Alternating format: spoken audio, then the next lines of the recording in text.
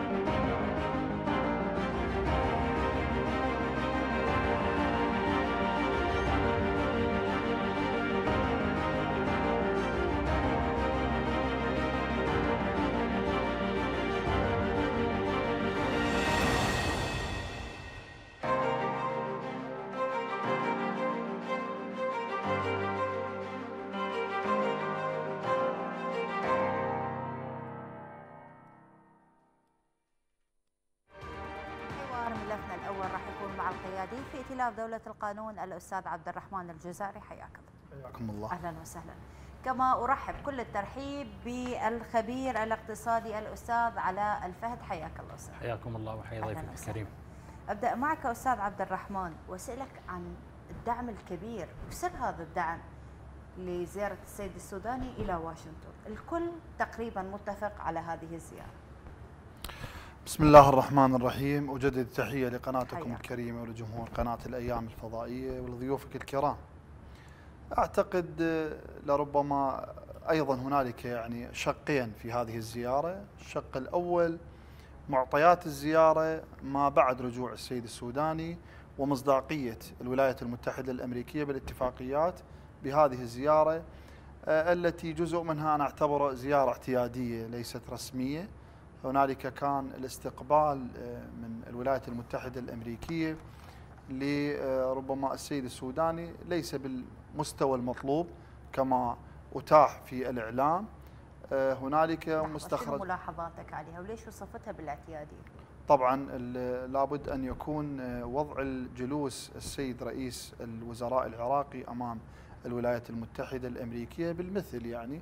كان الحديث آه، بعيد عن التوجهات ال- المواطن العراقي الذي أتاحت حكومة الإطار آه، وحكومة السيد السوداني إنها حكومة خدمات وأيضا قضية عملية إخراج المحتل الأمريكي. هذه المطالب هي للشعب العراقي ولحكومة الإطار وحكومة السيد السوداني. ما تطرق إلى السيد بايدن والسيد السوداني آه، مسائل اقتصادية ومسائل بعيدة عن طموح المواطن العراقي. إحنا الآن نبحث اليوم لدينا قواعد اسمحي لي لو أكملت الفكرة ست فرح. عندنا قواعد. زين. عندنا دماء سقطت آه، أتاحت للأمريكان التجاوز على سيادة العراق. فأنا أرى كان الأفضل بزيارة السيد السوداني في أن يكون الشق الرئيسي والأول والأخير أن تكون آه، هي زيارة عسكرية. زين حتى أفهم من حضرتك ليش السيد السوداني مخل بحسب ما تتفضل مخل انسحاب القوات وجدولتها من العراق على أجندة زيارته إلى واشنطن؟ لا ما هو بالتالي ال- الموضوع يعني قبل الزيارة كانت أكو هنالك جلسات طبعا واتفاقيات لكن أعطت بيانات اليوم الكونغرس الأمريكي زائد سياسة بايدن أن لا خروج للأمريكان وما يتحدث به الساسة العراقيين هو غير على أرض الواقع واقعي. بعد ليش داعمين هذه الزيارة؟ لا هو بالتالي إحنا نتحدث إذا نتحدث بالطريقة الدبلوماسية أنا ما أعرف ما محتاج أنا أتحدث بالإعلام حقيقة بالمجاملة أنا أتحدث بالواقع الحال. أنا أتحدث أنا مو اللي اللي أقوله اللي اقوله هم قادة وجنرالات أمريكية لحد هذه اللحظة تتحدث بعدم خروج القوات الأمريكية من الأراضي العراقية. واضحة الفكرة جدا. بالشق الثاني اللي هو ليش ما يطلعون؟ لأن هنالك اتفاقيات أمنية وإضافة إلى هنالك اتفاق موجود هذا الاتفاق من الأمم المتحدة. أي ما معناه؟ دخول القوات الأمريكية المتمثلة بقوات التحالف ست فرح هي قوات متفقة بقرار دولي. لن يتم الإخراج إلا بقرار دولي وليس بقرار حكومي. راح أناقش ويا حضرتك هذه النقطة فقط أسمع وجهة نظر ضيفي علاء أستاذ علاء، إذا هذه زيارة اقتصادية بحتة نعم. بعيدا عن الأمن والسياسة الاقتصادية كانت حاضرة فيها، نعم. شلون تقرأ هذه السياسة؟ طبعا تعقيبا على كلام أستاذنا أستاذ عبد الرحمن إنه الزيارة ذات طابع اقتصادي كون إنه الملفات الاقتصادية اليوم هي ملفات ساخنة أبرزها مسألة الاصلاح المصرفي ورفع العقوبات عن المصارف العراقية وأيضا مسألة حركة الدولار ومسألة الاستثمار وطريق التنمية وملف الطاقة ودخول الشركات الأمريكية وأيضا الملف الآخر هو ملف تسليح القوات الأمنية من قبل الشركات الأمريكية. طبعا إنه الملفات الاقتصادية والمباحثات الاقتصادية أخذت الحيز الأكبر كون إنه السيد السوداني انطلق إنه الحكومة حكومة آه، خدمات تحتاج إلى شراكات تحتاج إلى تفعيل الاتفاقية الأمنية بالجوانب الاقتصادية.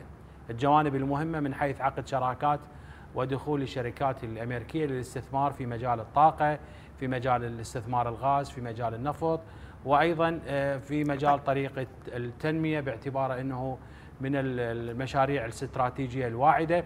فكانت ال- الملفات الاقتصادية هي ذات ال- الصبغه الأكبر. وأيضا ال- المسألة اللي لاحظناها هو مسألة التحول بالعلاقة بين الولايات المتحدة والعراق أن تكون علاقة شراكة. وهذه شراكة مبنية على اتفاقية. الولايات المتحدة تقول إحنا شريك للعراق وحليف استراتيجي، لكن ما شفنا شيء على أرض نعم هو. هذا يعني يجب أن يطبق على أرض الواقع، اليوم زيارة السيد السوداني إذا ما تم توقيع اتفاقيات بها والخروج بجملة من الاتفاقات ليس بروتوكولية أو شكلية إنما آه، تطبيقية على أرض الواقع لا ال- ال- ال- الزيارة لا تأتي ثمارها خصوصا إنه اليوم الوضع العام في المنطقة هو وضع غير مستقر. والولايات المتحدة تحتاج إلى آه، شراكات خصوصا مع العراق باعتباره حليف استراتيجي. وأنا سؤالي هسه المذكرات أو الاتفاقات ممكن توقع؟ نعم. لكن تنفذ اليوم أكو انعدام ثقة بالجانب الأمريكي. يعني شوفي ما دام أكو منافسة اليوم العراق انفتح على جميع دول العالم منها الاتحاد الأوروبي منها دول ال- المنطقة. هناك فرصة لعقد آه، شراكات واستثمارات مع دول أخرى. ومسألة منافسة من يقدم ال- ال- الخدمة الأفضل من الشركات تتنافس فيما بينها من أجل الحصول على الفرص الاستثمارية. كون إنه العراق أعلن في أكثر من مناسبة إنه يقف بمسافة واحدة مع جميع الشركات والأبواب مفتوحة لغرض الاستثمار. وهذا طبعا تعتبر فرصة والأولوية تكون للولايات المتحدة كون انه لديها شركات خصوصا في مجال النفط في مجال الطاقة تبحث عن استثمارات طوال السنوات السابقة لم نرى حضور للشركات الأمريكية بالشكل الفعال اللي فعلا تكون شريك في. مجال التنمية والنمو باختصار اليوم الولايات المتحدة تريد الاستقرار للعراق لأنه هي سنوات طويلة لم تكن تريد الاستقرار للعراق طبعا هذا هو سؤال استراتيجي إنه هل ال- الاستقرار في داخل العراق يخدم الولايات المتحدة؟ يعني هل تنظر الولايات المتحدة للعراق آه، كجانب أمني إذا استقر العراق لديه يكون فائدة لدول المنطقة وفائدة للولايات المتحدة آه، آه، يعني طوال السنوات السابقة نلاحظ أن الولايات المتحدة بسبب العلاقة بين جمهورية إيران الإسلامية وبين الولايات المتحدة زين. تذبذبها ربما يكون العراق وسيط بترطيب الأجواء في هذه العلاقة أو ربما بالعكس الولايات المتحدة تحاول جر العراق خصوصا في مجال احتياج الغاز في مجال التجارة الخارجية طيب شو الخليج تشوف؟ نعم حضرتك شو تشوف؟ اليوم من مصلحة الأمريكان العراق يبقى مستقر؟ من مصلحة الأمريكان إنه العراق يكون مستقر خصوصا من الجوانب الاقتصادية والأمنية لأن هناك ارتباط خصوصا بمسألة آه، بيع النفط والدولار وغيرها آه، وأيضا مسألة آه، محاولة حصر الدولار كونه عملة أمريكية بأن لا يصل إلى دول أخرى بشكل غير طيب. شرعي. لذلك لاحظنا إنه بسياسة الحكومة والبنك المركزي محاولة تأطير والسيطرة على الدولار هي ومحاولة هنا مراقبة. النقطة اللي راح أتوجه بها السؤال أستاذ نعم. عبد الرحمن. بصراحة اليوم الولايات المتحدة مثل ما يقولون لازم العراق من إيده توجع أي حركة وهددونا بالبنك الفيدرالي بورقة الاقتصاد؟ وشفت من ارتفعت أسعار الدولار صار بالشعب العراقي. اليوم مو الجانب الأولى لزيارة السيد محمد الشاع السوداني هو ضبط الاقتصاد وإيقاع الاقتصاد العراقي. وبعدين المطالبة بانسحاب القوات الأمريكية؟ آه، سؤال جيد وواضح ولربما أكثر المواطنين العراقيين يطلبون هذا السؤال اليوم بقضية الاقتصاد العراقي، لكن أنا عندي تعقيب على الضيف الكريم. تفضل. وتحيل لي الفرصه وبعدين أجاوبك على سؤالك على راحتك. لك الوقت اولا آه، أنت تطرقتي بسؤال هل الأمريكان أو أي مواطن عراقي اليوم عربي يسأل عراقي هل إنه الأمريكان يعاودون اليوم السلم الأهلي في العراق؟ أنا أعتقد لا. وأنا عندي أدلة بهذا الموضوع. اولا فيما يخص عام 2003 طبعا بعد اجتماع لندن واليوم المعارضة العراقية عندما حضرت إلى العراق وشكلت الحكومة أصدر برايمر القائد العسكري الأمريكي بقضية تفتيت القوى العسكرية العراقية. ألا وهي اليوم تفتيت وزارة الدفاع العراقية وهذه مرتكز رئيسي اليوم لدى العراق كان العراق يمتلك جيش آه، متضمن بقوة عسكرية ومنظومة عسكرية متكاملة طبعا. الجانب الثاني أتاحت فرصة اليوم إلى موضوع الطائفية واليوم الخلايا النائمة وعملية اليوم خلق القاعدة في العراق ما يسمى وبعد القاعدة ما خلقته وهو عملية اليوم اللا دولة إسلامية قضية داعش. وبدأت تحث الدول العربية للأسف الشديد بتدمير محافظات عراقية. هذا بالتالي كله كان بتعاون الإدارة الأمريكية في العراق. فكيف اليوم الأمريكان يبحثون عن استقرار العراق؟ الأمريكان في هذه المنطقة يهمهم عدم استقرار العراق بالدرجة الأولى حتى مع العراق وجود حرب الروسية الأوكرانية نعم. واليوم الظروف اختلفت اليوم أكو حرب روسية أوكرانية مصدر الغاز. هو العراق فهم يردون هسه أنا ما أختلف. وياك طبعا زين. أكيد الحرب اللي بين أوكرانيا اليوم وبين اليوم روسيا والاتحاد السوفيتي وشكل تغييرات في المنطقة أي. أنا أتحدث اليوم فيما يخص اليوم العراق جذور العراق اليوم موضوع ال- ال- المضاربة السياسية بقضية اقتصاد العراق. اليوم خنق اليوم السياسيين العراقيين آه، وبالتالي عندنا دليل بسيط جدا يعني. بطائرة واحدة ويعلم العراقيين كل الزين اليوم طائرة رئيس الوزراء الأسبق الدكتور عادل عبد المهدي إلى الصين لبناء البنى التحتية والتعاون وفتح اليوم الأيادي المشاريع الصينية مع المحافظين العراقيين. قامت وقعدت الدنيا ويا ست فرح شفنا الدماء اللي سقطت وظهرت تشرين وظهرت ال- المظاهرات ودخلوا ال- الإخوان إلى إلى القبة التشريعية وتهديم ال- اليوم الحكومة العراقية. كيف اليوم أمريكا تبحث عن اليوم الوضع والاستقرار؟ ابدا الأمريكا ما يزعج الآن في المنطقة هو مو على الاستقرار. هاي النقطة هم راح أعقب على كانوا رؤساء الوزراء السابقين عارفين الباب مفتوح لمن هب ودب للتدخل اليوم أنت عندك حكومة تحظى بتأييد شعبي تأييد سياسي. اليوم الجميع متفق على السيد محمد الشاع السوداني هذا ما يغير بالمعادلة ولو شوي. اذا تتحدثين بالرضاء على السيد محمد الشو ليس كل العراقيين اليوم راضين على حكومة محمد الشاع السوداني. اولا عندك جزء لا يتجزأ من العملية السياسية ب 73 مقعد خرج من القبة التشريعية اللي هو التيار الصدري. وأيضا هو غير راضي لأنه محمد الشياع السوداني الآن يعتبر جزء لا يتجزأ من الإطار. وهم مختلفين ويا الإطار التنسيقي. لكن الكتلة الصدرية قالت إذا الحكومة تقدم خدمات إحنا ما عندنا مشكلة وياها. هسه هذا جانب. زين. اسمحي لي. نجي على الجانب الثاني العلاقات اللي خارجية اللي ما أتاحت للسيد السوداني اليوم الفرصة بتعديل الموازنة السياسية في الإقليم بصورة عامة يعني.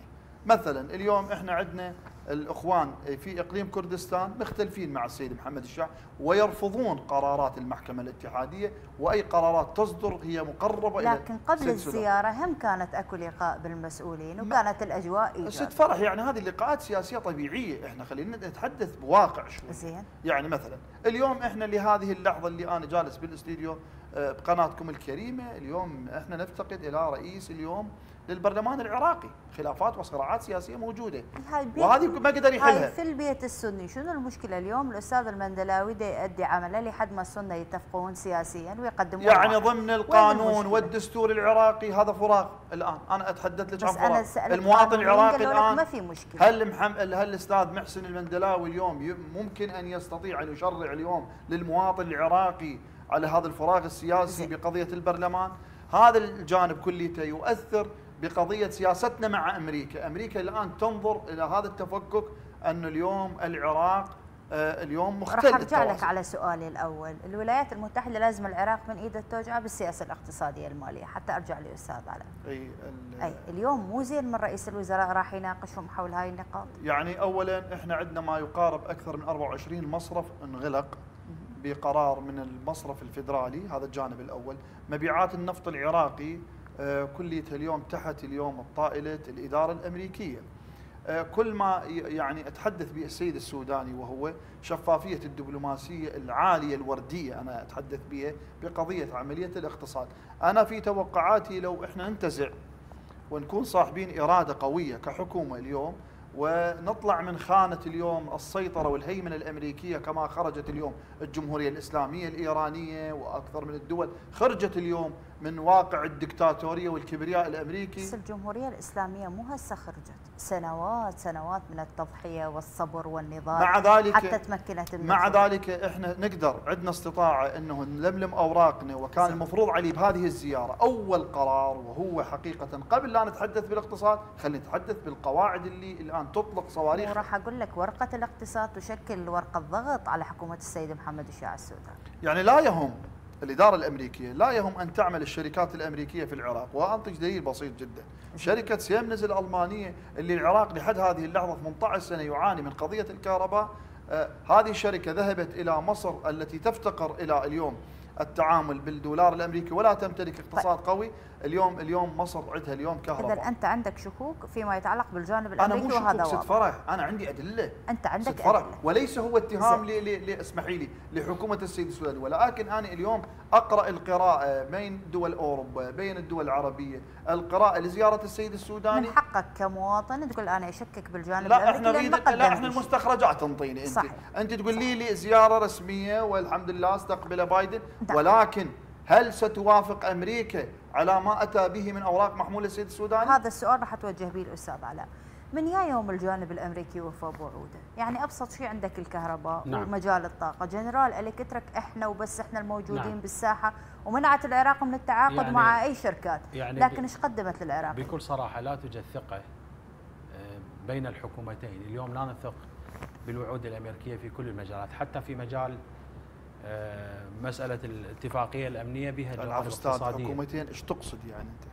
نعم لا توجد ثقة الثقة في أنت بين الحكومة نعم، العراقية بين والحكومة العراقية الأمريكية والحكومة الثقه الأمريكية. الثقة معدومة يعني. الثقة معدومة نعم، وهذا واضح. حتى على مستوى المواطن اليوم لا لم يلمس من الوجود الأمريكي أي فائدة للعراق بكل صراحة أما ن- نتحدث عن المصالح إذا دخلت شركات أمريكية تستثمر في العراق فأكيد هذه الشركات ستحمي مصالحها قدر المستطاع وتحافظ على استقرار العراق وهذا طبعا بالمنطلق الاقتصادي البديهي لكن على أرض الواقع ممكن لهذه الشركات أن تستثمر وتدخل العراق آه، وفق ما موجود اليوم من آه، اتفاقات سياسية ووجود سياسي أنه مرحب بالجانب الأمريكي. هل سيكون جانب مستقر الأمريكان اليوم؟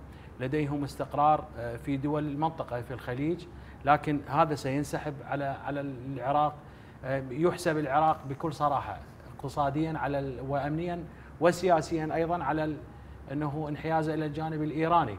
وهناك صراع يمكن يدخل العراق آه، كوساطة لكن ال- الامريكان هي هاي تبقى. وساطة مو انحياز نعم. آه، ربما هسه بسبب توتر الأوضاع بالمنطقة ربما سيكون للعراق دور وهذا آه، متروك للمفاوض العراقي قدرته على انه يكون هو وسيط بحلحلة الأزمة من صحيح. جهة. وأيضا اليوم يجب أن يبحث العراق على مصلحته الخاصة، اليوم أين مصلحة حتى لو العراق؟ بحث عن مصلحته الخاصة. نعم. راح نعطي لحضرتك مثل. اليوم دائما الأمريكان يتبعون سياسة كلمة حق يراد بها باطل. يعني نعم. هي سفارة دبلوماسية لكن هي بالحقيقة قاعدة عسكرية. نعم هي مراوغة حتى يقول بالعلاقه هاي الشركات اللي دخلت للعراق بالعنوان الاقتصادي راح تكون اقتصادية بحتة. مو هي هذه هذه نقطة الخلاف. اليوم إذا ما دخلت هذه الشركات وتس هناك فرص استثمارية زين ينظر إلى العراق، إذا ما دخلت هذه الشركات ستكون الفرصة متاحة للدول الأخرى أن تدخل وتستثمر بالعراق، خصوصا ذكر الأستاذ عبد الرحمن الجانب الصيني، عندما اتجه العراق إلى الصين، اليوم الولايات المتحدة تخاف من الهيمنة أيضا الصينية وإيقاف طريق ال ال ال طريق التنمية وطريق الحرير اللي كان مقرر له. اليوم الفرص الاستثمارية متاحة وهناك استقرار أمني نسبي. كان قبل الحجة الأمنية، اليوم لا لا يوجد أي حجة. ما هو بصراحة هو من خلى الحجة الأمريكية نعم هم هم موج... تطلع وزيرة يعني الخارجية هيلاري كلينتون وتقول داعي صناعة أمريكية هي نعم. وباراك أوباما. ما هم يلعبون بأوراق نتحدث الأمن. نتحدث عن مسألة ثقة. اليوم الثقة معدومة بالجانب الأمريكي حتى بالوعود الأمريكية. على كل المستويات نحتاج إلى زين. بحيث يكون هناك تكافؤ. بالعلاقة شراكة حقيقية ليس شراكة كبير وصغير. شلون شراكة وهي ماكو ثقة؟ شراكة أعلى وأدنى. مسألة الدولار وحساب ال DFI إيراداتنا النفطية شنو الفائدة من هذه الشراكة؟ عفوا المقاطعة. نعم. شنو الفائدة يعني؟ شراكة استثمارية. تتحدث بالشراكة الاقتصادية العراقية. نعم. أنا أريد أشوف اليوم إحنا 18 سنة اليوم أمريكا عندنا اتفاقيات استراتيجية عسكرية نعم غير مطبقة. شنو اللي اللي غير مطبقة. اسم الثقة جاي قتل القادة ضرب السيادة. ازمه الثقة أستاذ اليوم اليوم أريد أتحدث وياك باللهجة العامية. بطل نعم. الزيت يعني إحنا عايشين علي من أمريكا التمن عايشين من أمريكا الطحين عايشين من أمريكا. شنو اللي قدمته أمريكا؟ أنا على مود أروح لأمريكا وأطلب منها اقتصاديا. الوقت حتى يجاوب يعني شراكة. يعني ما عندي شراكة ويا أمريكا. أمريكا عدوه عندك شركات مهيمنة على مجال قطاع النفط والطاقة في المنطقة. الشركات الأمريكية. هذه الشركات إذا أرادت أن تستثمر في العراق ويكون لها حصة حال حال الشركات الأخرى والباب الاستثماري مفتوح. هذا أيضا مرهون الشركات الأخرى تيجي تنفذ الأمريكان ما الأمريكان. طوال السنوات السابقة لم نلاحظ أي شركة أمريكية دخلت إلى العراق وفعلا استثمرت والعقد مع شركة GE تشوب الكثير من الملاحظات. وعندما اتجهنا إلى شركة سيمنز كانت هناك فيتو امريكي على شركة سيمنز وعدم حل ملف الطاقة طيب. حتى ملف الطاقة وحله هو وراء أجندة سياسية زين. فاليوم زين. العجلة الاقتصادية مرهونة أيضا بالتوافقات السياسية أستاذ عبد الرحمن اذا ماكو ثقة والأمريكان ما ينفذون وهواي أكو مشاكل اليوم المفاوض العراقي لازم شنو يسوي حتى يجبر الجانب الأمريكي على احترام السيادة العراقية ويخلوا لهم حد مثل ما يقولون يعني إحنا منذ يعني قضية عملية الاختراق وضرب القادة رحمة الله على أرواحهم القائد مهدي المهندس والقائد سليماني بدأت المعالم يعني المحاذير من القوة العسكرية في أن تتدخل بالسيادة العراقية وتتدخل في أمور لربما حتى سياسية يعني متبعة اقتصاديا وسياسيا على الوزارات. عملية اليوم نتائج وجود الأمريكان في العراق أصبح يشكل خطر يعني تهديد واضح اليوم. بالتالي حسابات أمريكا بالقواعد الموجودة قاعدة عين الأسد وقاعدة الحريري تمثل تشكل خطر يعني واضح بالاسف، لكن أنا أعتقد لربما هنالك من يناصر بقاء الوجود الأمريكي بين طبقتين اليوم في المجتمع العراقي، سي. اليوم الطبقة المتمثلة باخواننا العرب السنة مصرين يعني حتى في القبة التشريعية عندما أصدر قرار بخروج الأمريكان كان هنالك اعتراض طبعا. وحتى الإخوان في إقليم كردستان التي عادها اليوم بايدن بمسامع إذن السيد السوداني إن لدينا علاقة طيبة مع الإقليم. وهذه رسالة واضحة للشعب العراقي أنه لا تتجزأ قرارات الحكومة إلا بموافقة الإدارة الأمريكية وهذا يشكل بحد ذاته خطر. اذا إذا رجعنا على عامل الاقتصاد العراقي لا توجد اليوم شراكة اليوم ولا يحتاج العراق مثل ما يتحدث البقية إنه الشركات الأمريكية العملاقة أن تبحث عن مجال النفط ومجال الأمور الاقتصادية في العراق، أنا أعتقد كان الأجدر بالسيد السوداني أن يتباحث بقضية إخراج القواعد الأمريكية ومن ثم يتحدث بالأمور الاقتصادية أنت وهي مهمة جدا. عن جهود رئيس الوزراء، دور البرلمان وين؟ اليوم البرلمان مؤيد لهذه الزيارة.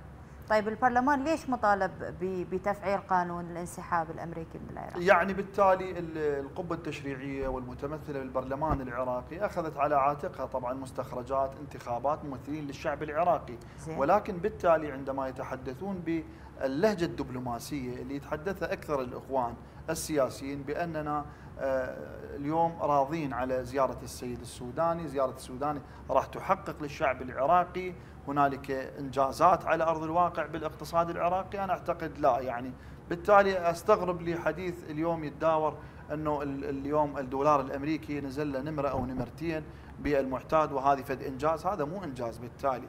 إحنا لو نرجع لأرض الواقع إنجاز بس حفاظ على قوت المواطن يا أستاذ لا لا عبد الرحمن. ست فرح إحنا المواطن هسه المواطن اليوم المواطن العراقي هل اليوم يستطيع العيش بدون الإدارة الأمريكية؟ نعم يستطيع. اليوم العراق يمتلك اسمحي لي يمتلك اليوم سيادة. زين. العراق يمتلك اليوم دستور عراقي واضح اليوم قوانين عراقية واضحة. اللحمة الوطنية الآن موجودة لله الحمد. أستاذ عبد الرحمن نعم. هذا مو على عاتقي أو على عاتق أستاذ علاء ولا على عاتقك. اليوم الحكومة الأمريكية وكأنما تعطي صورة أنه إذا إحنا طالبنا بانسحاب القوات الأمريكية فراح تفعل ضدنا ورقة الاقتصاد. لا لا. ماني أحكي عن معادلة حقيقية. هسه المعادلة الحقيقية مو أنت اليوم نتحدث أنت انطيني الإنجاز الاقتصادي للعراق. يعني أنا غالق لك 24 مصرف. زي. أنا أتحكم بموازنة العراق. أنا ما أقبل تجي شركة تسوي لك كهرباء. أنا ما جهزت الجيش العراقي. رادارات ما عندنا ست فرح. يعني إحنا هسه اسمحي لي هسه اسمحي لي. تركيا الان الآن خليه يسمع الشعب العراقي يخاف ما يعرف. متوغلة بالأراضي العراقية وتدخل بطائرات بذريعة حزب العمال وتقصف قرى عراقية وتطلع. اسمحي لي. يجي الأمريكان يطلقون صاروخ في منطقة في وسط بغداد ويقتل أحد قادة اللي هم متمثلين برئاسة الوزراء العراقية ويضرب السيادة العراقية. وأنا أجي اليوم أتفق وأتناقش مع أمريكا على طاولة الاقتصاد. نواب دولة القانون. متناقض الكلام. نواب دولة القانون هل سيحضرون إلى البرلمان العراقي لسؤال رئيس دولة رئيس الوزراء عن مغزى الزيارة عن أهدافه وعن توقيتات تحقيقها على أرض الواقع؟ أكيد. إحنا طبعا لدينا اجتماع قبل الزيارة كان. يعني دولة القانون وأيضا الكتل البقية السياسية أيضا.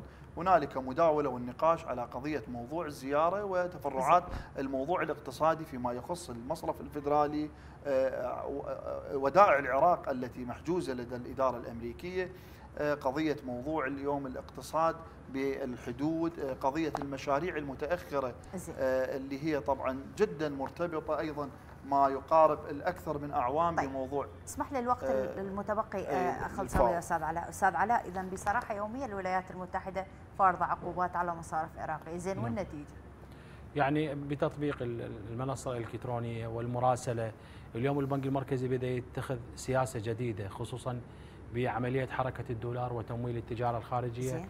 عبر المنصة الإلكترونية وأيضا المراسلة بين البنوك وهذا طبعا بحد ذاته يحجم من عملية خروج الدولار الغير شرعي لتمويل تجارة غير شرعية وطبعا هذا دائما كانت هي الورقة اللي تضغط بها الولايات المتحدة على البنك المركزي العراقي وعلى الحكومة العراقية. ينتهي الضغط هم راح تبقى الولايات المتحدة نعم إذا إذا إذا كانت هناك يعني تطبيق المنصة بشكل عام وكله الكتروني ومراقبة الدولار لأن الولايات المتحدة لديها ذريعة إنه هي المالكة للدولار وتريد هذا الدولار أن تراقب عملية حركته بحيث جيد. لا يمول جيد. تمويل خلينا نقول هذا من حق الولايات المتحدة. زين الطاقة مو من حقها ليش محتكرة مجال الطاقة في العراق؟ مجال الطاقة الولايات المتحدة هي من الدول الكبيرة في مجال الطاقة ومهيمنة على دول, دول الخليج.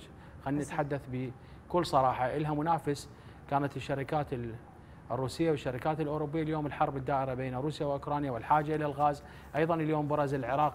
عندما تحدث بايدن عن العلاقة مع الإقليم هناك علاقة غاز يعني الإقليم أعلن نفسه أنه وجود غاز يمكن أن يمول نعم يمكن أن يمول آه، أوروبا والولايات المتحدة بالغاز يكون غاز الإقليم بديلا وأيضا طبعا هناك آه، هي علاقة ليش حضرتك تقول غاز الإقليم؟ ليش تقول الغاز العراقي؟ يعني اليوم أكو شركات أمريكية تستثمر الغاز في داخل إقليم كردستان زين. ولديها عقود تراخيص هاي بمعزل عن الحكومة المركزية، وطبعا هي سبب الخلاف اليوم بمستحقات هذه الشركات مطلوب أن تدفع الحكومة وهذا طبعا هو من الملفات العالقة والساخنة بين الحكومة المركزية وحكومة الإقليم.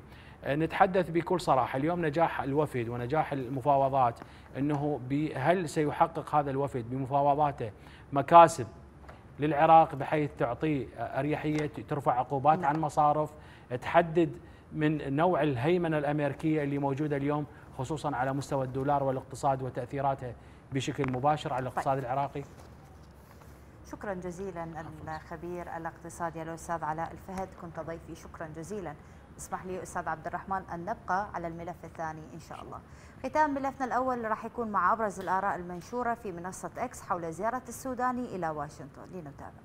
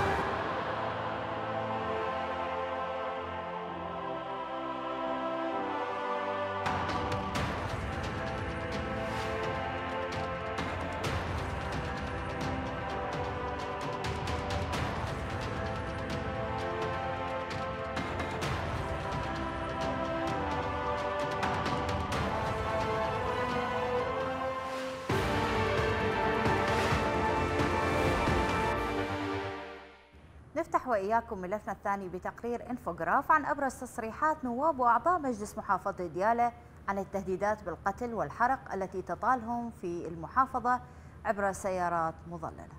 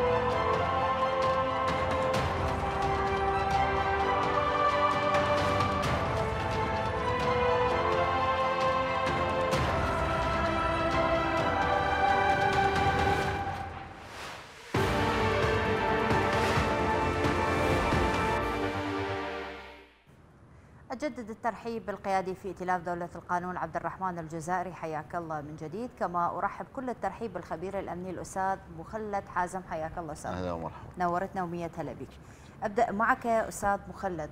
قتل حرق سيارات مظللة وش قاعد يصير بديار مساء الخير عليك وعلى أستاذ عبد الرحمن. يعني حقيقة من المعيب آه، أن نسمع في هذا الوقت يعني هكذا صراعات هكذا يعني حالات آه، تعكس واقع مرير. آه، عن محافظة دياله يعني بالرغم من أن محافظة دياله هي دائما ما كانت تشهد صراعات داخلية وكانت هي سبب من أسباب يعني اختراق العصابات الإرهابية لمحافظة دياله بجميع قراها ونواحيها.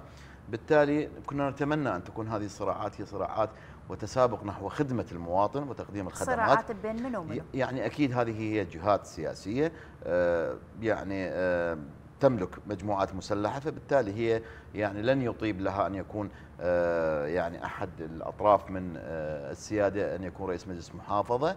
فبالتالي هي أرادت أن تروع أرادت أن تخون يعني الكثير من هذه المجالات. نحن اليوم نتمنى يعني أن حتى أفهم ما يبدو أعضاء تكون من من تحالف السياده بالتأكيد لأنهم يعني اليوم الصراعات بصراحة سنية سنية لو أكو غير لا لا الموضوع ليس سني سني أنا لا أتوقع أن يعني هنالك إمكانية لطبقات السنيه السياسيه في ديالى أن تملك هكذا إمكانية هكذا مجموعات مسلحة بسيارات مظللة تستطيع أن تخترق وتدخل إلى آه، دور المنازل النواب. هذه يعني إمكانية يعني كتل أو مجموعات مسلحة استوطنت وتجذرت يا الله في ديالى يا الله أستاذ مخلد اليوم السنة أيضا لهم هالشكل بحسب وين؟ نواب وين؟ نواب السنة. يعني هسه السنة ما عندهم سيارات مظللة ويهددون. ما نتكلم يعني عن السيارات المظللة. يعني القضية بالسيارات المظللة. السنة عندهم سيارات مظللة أكثر من الشيعه أيوه هذا نتكلم عن السيارات المظللة. أي نتكلم عن السلاح. تكلم لي بأسماء. نتكلم لي اليوم من المستفيد من هذه الزعزعة. نتكلم عن السلاح. زين. يعني اليوم يعني إذا كانت هنالك نية من من من قبل الجميع ومن قبل آه، الحج المالكي في أن يكون آه، رئيس مجلس محافظة ديالة. هاي هاي وضحت. اذا هاي يوم أستاذ عبد الرحمن اليوم الحج المالكي يقبل بالاستقرار في محافظة ديالة. وشنو قصد بها أستاذ مخلد لو قبل؟ وراح نرجع المربع الأول لو لا؟ نعم نعم. آه، حقيقة فيما يخص يعني موضوع ديالة ديالة تشكل اليوم عراق مصغر. كتل سياسية. آه، هنالك اتفاقيات طبعا. نعم. آه، على أرض الواقع أن اليوم تقسيم المحافظة ومجلس المحافظة بالترتيب الأصوات اللي المتاح اليوم من مستخرجات الانتخابات. ما تبين يعني حقيقة هنالك صراع داخلي تحت عشيرة مكونة اليوم لديها محافظ أخونا مثنى التميمي والطرف البقية الآخر يعني كان الاتفاق أن دولة لحظة.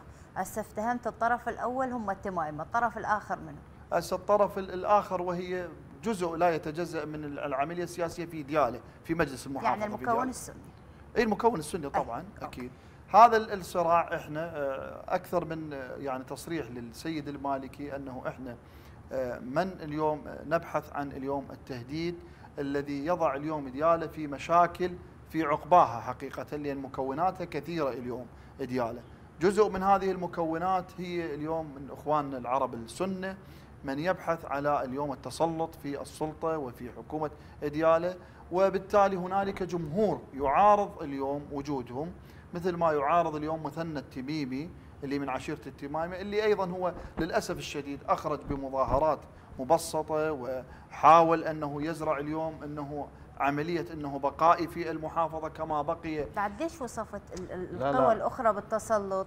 ليش هو بالحالة اللي دا تقولها البعض يشكل على الأستاذ مثنى التميمي يقول يقول هو متسلط، ليش يريد يبقى بال؟ لا لا هو أستاذ مثنى وجهة نظره إن هنالك محافظتين في. العراق اسعد العيداني في البصرة تم الاتفاق على إعادة اليوم أن يكون محافظ وأيضا ال- الواسط اللي هو محمد المياحي وكربلاء. وكربلاء بالضبط. يعني أكو اتفاقات عليهم على أنه. يعاد لهم فبالتالي قال. ليش تجزئون عملية قضية أنه اليوم مثنى التميمي أن. يبقى محافظ وضح. هذه مشكلة زين هذه باجتماعات خارجية وداخلية زين بدأت تحولت؟ الاجتماعات اليوم أي. الاختلاف السني اللي داخل ال- اليوم المحافظة أيضا زين. هنالك اختلاف طبعا أدى إلى اليوم تفتت الرؤية اليوم أصبح حتى اليوم جمهور ديالة اليوم في قلق اليوم يبحث هسه في أرض الواقع خلينا نتحدث هل محافظة دياله في حكومة التميمي أنجزت؟ لن تنجز يعني. زين هذا لا السؤال.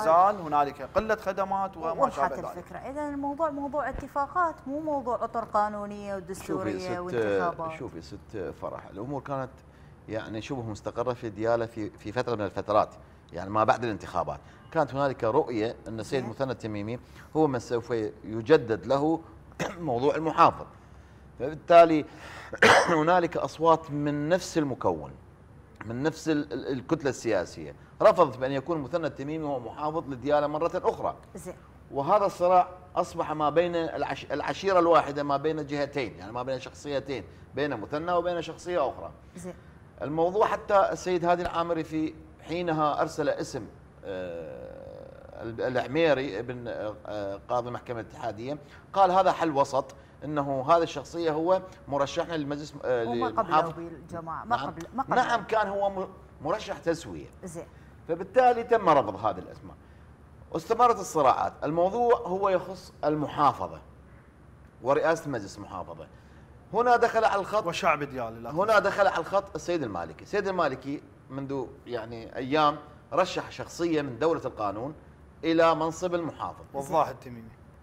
ليس لا وضاح التميمي وضاح. لا ما أعتقد وضاح شخصيه آه، يتبع لدوله القانون من. المحافظة ويعني تقريبا شبه اتفاق كتل سياسية على هذه الشخصية وهم سوف يمضون بانتخابه بقى لدينا مجلس محافظة مجلس المحافظة حسب ال يعني عدد المقاعد يعني سوف يذهب باتفاقات كتل سياسية. سوف يذهب إلى السيادة باتفاقات كتل سياسية سنية وشيعية.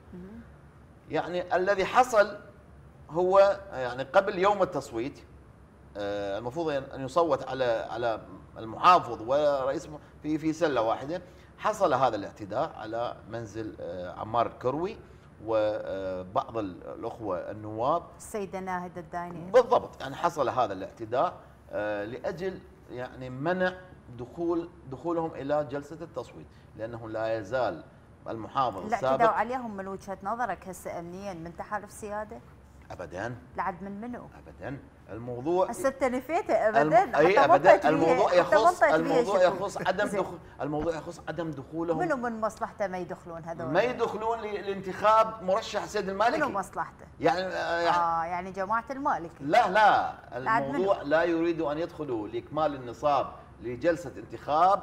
رئيس المحافظ الذي هو بس رشحه فضلك، المالكي حتى أفهم من هم من لا يريدون الدخول يعني, يعني المحافظ السابق. يعني ممكن أن يكون المحافظ السابق ممكن زين. ان يكون يعني مثلا التميمي. ممكن يعني أنا. لا أجزم لكن ممكن أن يكون يعني هذه الجهات التي لا تريد المضي في انتخاب المحافظ ورئيس مجلس المحافظة ويبقى الموضوع موضوع فراغ لأنه تم تكليف المحافظ السابق وبصلاحيات من قبل رئيس مجلس الوزراء بالمضي بالمحافظة لحين انتخاب الرئيس ونائب إحنا عندنا دولة أستاذ عبد الرحمن لو ما عندنا يعني من تجي سيارات مضللة وتهديد بالحرق والقتل.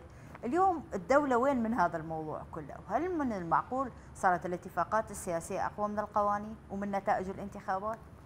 لا أعتقد يعني أنا يعني تقريبا برمضان اللي اللي قبل العيد أنا أي. كنت في زيارة طبعا رسميه جولنا في دياله حقيقة. ولاحظنا وتناقشنا على قضية موضوع المحافظة وكان الاتصال بأخونا قائد عمليات ديالة الفريق طه وقائد الفرقة يعني حقيقة أيضا أستاذ أياد. ولاحظنا أنه هنالك آه، اختراقات أمنية في هذه المنطقة، يعني أنا قائد الفرقة حقيقة لمدة ثلاث أيام أحاول أن احصله ما أقدر احصله إلا بعد الفطور يعني. بالتالي سالته ليش آه، قال لي حقيقة ديالة مربكة دياله لا يزال بها حواضن وبها مشاكل. متعدد القرار هو اللي يؤدي لهذه النتائج. تمام. هذا هذا الخلافات جانب. السياسيه خلافات. جانب إنه الفراغ آه، ما بين قضية عملية إنه إصرار السيد آه، مثنى التميمي وكمحافظ وإنه عنده جمهور و آه، يزاود المحافظة، لكن المقبولية للجمهور لن تقبل هذا الوضع بالتالي. عملية سؤالك اليوم تقولين نعم الحكومة موجودة اليوم وهنالك قوة متمثلة بالداخلية والدفاع والاستخبارات والأمن الوطني في دياله، لكن عمليات آه، كهذه طبعا هي عمليات طبيعية. هذه خارج القانون ممكن عجلات. بغطاء الدولة لا اليوم؟ لا لا لا هي مو عمليات طبيعية. لا لا. من تهدد لا، عمليات طبيعية يعني. لو نائبة يهدد على مرأة ومسمع الشعب العراقي. أي. باختصار راح يقول لك إذا هو نائب ما يعرف يحمي روحه راح يحموني أنا؟ لا لا ست فرح يعني أنا من أقول عملية طبيعية يعني. هسه إحنا خلينا نرجع النتائج. هسه أنت ممكن إحنا نتهم جهة معينة وهذا مو دقيق. إحنا نكون أدلة عندنا. أنا ما أتهم اليوم السنة ولا أتهم اليوم قيادات. آه، من من شيعيه أو قيادات كردية أو كذا أنا ما اتهم جهه معينه. لكن أكو من خارجين عن القانون بأيادي مسؤولين دفع لهم مال بعملية التهديد والابتزاز للعملية السياسية في داخل ديالة، لكن انت تحدثي لي اليوم ماذا يريد جمهور ديالة اليوم؟ جمهور دياله يريد استقرار، جمهور دياله يريد محافظ يقدم خدمات، ليش هذا الجانب، بس؟ اسمحي لي. ليش الاتهام- السياسيين على شنو جاي لا لا اسمحي لي؟ ست فرح. خلينا نجي على قضية ال- التقسيم إحنا بالتالي آه، السيد المالكي أتاح فرصة لإخواننا في بدر آه، أن تكون محافظة الديوانية اللي استحقاقنا أن يكون السيد عباس الزاملي اللي. هو حقيقة حقيقة هو كان عضو بالبرلمان العراقي رئيس ورئيس اللجنة الأمنية. آه هذه من حقيبة كانت دولة القانون. وإحنا قدمنا التنازل لإخواننا في آه الديوانية باعتبار إنه مطالبهم أن يكون. المحافظ من آه بدر. بالتالي لما يكون ترشيحنا إحنا وحل النزاع من دولة القانون رشحنا أخونا وضاح التميمي. ولكن للأسف الشديد أيضا كان هنالك اعتراض. الآن لدينا مرشحين طبعا. من أهالي ديالة طبعا ومستقلين. بعيدين عن موضوع إنه يتحدث. واحد يقول لك والله أنتم تجيبون دولة القانون وتفرضون. أي. ابدا ما عندنا فرضية خليني. بهاي النقطة أتوجه للأستاذ مخلد، الأستاذ مخلد اليوم القضية تحولت قضية رأي عام، لكن المهددين جاي ينشرون على الفيسبوك بياناتهم تهديدهم ووعيتهم بصراحة اليوم الموضوع أصبح موضوع سياسي لو موضوع عشائري، واليوم أهل ديالة راح يقبلون بالمستقل. لو النزعة العشائرية راح تميل لأحد الأطراف يعني وبصراحة. حقيقة كنا نتمنى يعني من بعد هذه الانتخابات الأخيرة أن نطوي صفحة الماضي أن نتقدم بخطوة إلى الأمام أن نرى أن هذا الصراع هو بسبب آه، لل- للسباق نحو تقديم خدمات للمواطن وبالتالي تكون هناك تنازلات من قبل أطراف وكتل سياسية من أجل المواطن لأننا خلال هذه العشرين عام يعني هذه المحافظات عانت من التهميش والإذلال والبنى التحتية المترهلة ولا نزال يعني مع الأسف لحد هذه اللحظة هذا الصراع والتهميش من قبل منو؟ يعني هو هو ما ما انتبهوا لا ال- مو هالكلمات كبيرة تقول نعم. تهميش وإذلال يعني منطقهم حقهم سياسي ابدا ابدا لا هسه يعني هسه اذا هسه نريد نجي. نروح على محافظة الديوانية اي السماوه بابل هذه المحافظات التي يعني يعني محافظيها من من كتل سياسية وهذه المحافظات لم تشهد الإرهاب القوي لم تتعرض إلى هجمات. لكن لحد هذه اللحظة نرى اليوم المحافظين الجدد نرى أن هنالك همم عالية لديهم ذاهبين باتجاه تقديم خدمات حقيقية يعني للمحافظة منو في- هذا المحافظ اللي جايب همه وياه لإصلاح محافظة ديالي؟ شو هو أي محافظة يجي يقول لك أنا راح أسوي وأنا راح نعم أعمل. لذلك وينها على لذلك؟ إحنا نقول لا وين التهميش أستاذ إحنا مخلد إحنا وين التهميش وين التهميش بديالة وين لا يعني؟ هو قال بالخدمات. تهميش واذلال ها الخدمات خدمات أغلب المحافظات ما بيها إحنا خدمات زين نقول بدنا نقول المحافظات عانت خلال 20 عام بس وهذا مو بتدخل سياسي أنت ليش ما نعم. تقول القرار الكردي والقرار أخي، السني إحنا- أثر لا لا على لا القرار القرار أبداً الشيعي في ابدا دياله ابدا ليش بالمحافظات الشيعية ما صار هذا الشيء؟ شلون ما صار؟ يعني بالديا بابل ومثنى أكو قرار كردي هناك أكو قرار سني ليش ما نهضت هاي المحافظات؟ ليش هسه يلا بدت ها تصير بها خدمات؟ مو تدخلات غير تدخلات وين منو يتدخل هناك؟ ليش تهمش منو منو يتدخل؟ يعني؟ منو منو يتدخل؟ مخلد. هناك منو حتى- يتدخلون هي بالقضاء حتى بالسماوة؟ البصرة صارت لا. مو بالسماوي في عندك- اتحدث عن دياله إحنا ديالة باو ديالة أنت تقول أكو تهميش ست نعم. فرح أنا دا أحكي أقول بكل المحافظات أستاذ إيه، مخلد بس أنا أنا. اشخص دياله فقط اكمل وجهة إيه. نظره مو انت قلت كلمة التهميش والإذلال وأستاذ عبد الرحمن جاي إيه، مو. هو غير يفهم القصد من هذا الكلام إيه. أنا فرصة قلت طيب، خلال فرصة 20 حتى عام إيه. المحافظات تعرضت إلى تهميش وإذلال زين. لأنه لم تقدم خدمات يعني هاي للمواطن المحافظات العراقية كلها نعم نعم نعم اذا نعم. أستاذ عبد الرحمن ماكو شخص أنا. لا لا المحافظات جميعها. بالتالي هذه مع الانتخاب- اربيل مع اربيل هذه. مع اربيل إيه، جاوبني مو. محافظة عراقية مو محافظة مع- اقليم ذاك لا محافظة عراقية؟ بالتالي بالتالي إحنا هاي الانتخابات مع حكومة السوداني الذي دعا إلى أن تكون هنالك حكومة خدمات أراد أن يكون لمجلس المحافظة ذراع ساند لحكومته هنالك حقيقة نرى أن هنالك محافظين سعوا باتجاه تقديم خدمات وهذه الخدمات بدأت تظهر ليش للعيان نسمي الياهم؟ يعني هسه إحنا نقول مثلا أبو أي. البصرة اشتغل وجددوا له ولأنه أكو عمل. أبو واسط اشتغل وجددوا له لأنه أكو عمل. أبو كربلاء اشتغل وجددوا له لأنه أكو عمل. يعني مو لأن الأنبار؟ اشتغل لكن لأن مو باتفاقات سياسية؟ اتفاقات سياسية. هو حصل يعني حصل جدد- 50 زاد واحد. مو أنت قاعد تتحدث هسه تتحدث بنسب لو تتحدث بالبداية مو رضوا؟ بالبداية رضوا لو ما رضوا.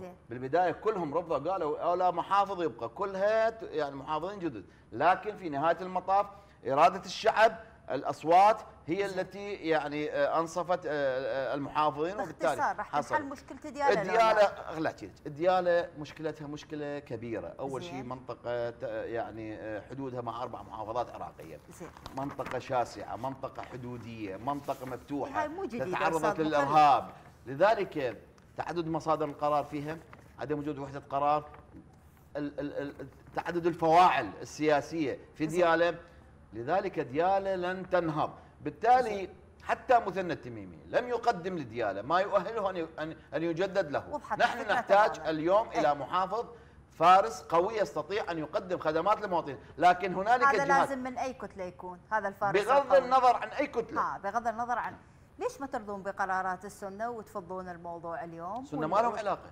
اي أي قرار؟ غير غير أنتم مرشحكم رشح. أرضوا بأي شخص يجي غير. الأستاذ يعني مثنى وغير هو مرشحكم ال- ليس الاختلاف خلاص. الاختلاف فقط على المحافظة. بعد على شيء. جزيئات المحافظة يعني عضو مجلس محافظة رئيس ال- ال- ال- مجلس المحافظة كل هذه هي عقبات اليوم بين الجمهور وبين المحافظة نفسها.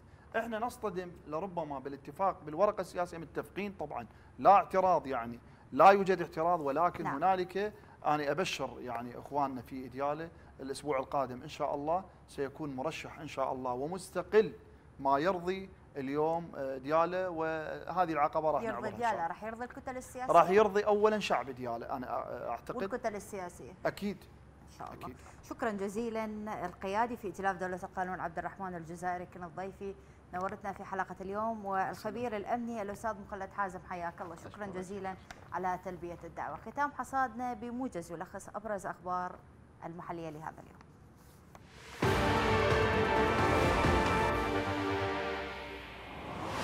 المالية النيابية تبحث آليات تمويل المشاريع في الموازنة التشغيلية والاستثمارية لعام 24 وزير النقل يعلن إنجاز 92% من مشروع الأرصفة الخمسة في ميناء الفاو الكبير. وزير الصحة يؤكد دعمه لجميع الاختصاصات الطبية في الوزارة وتنفيذ أولويات البرنامج الحكومي. وخلية الإعلام الأمني تعلن تدمير أوكار للإرهابيين بضربة جوية ضمن قاطع عمليات شرق صلاح الدين. مجلس القضاء الأعلى يصدر حكما بالسجن سبع سنوات بحق مدان سلم وثائق رسمية إلى جهات أجنبية.